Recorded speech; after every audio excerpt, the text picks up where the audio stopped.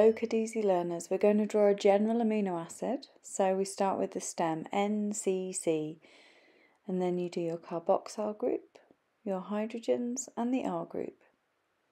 The R group is a changeable group.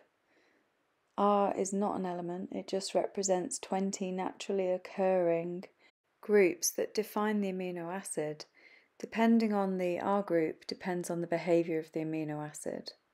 For example, some amino acids are polar.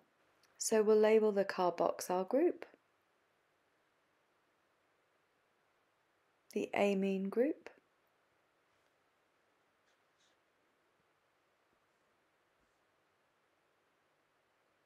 and the R group.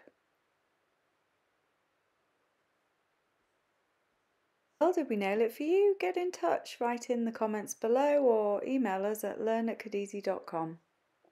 I hope we made it easy.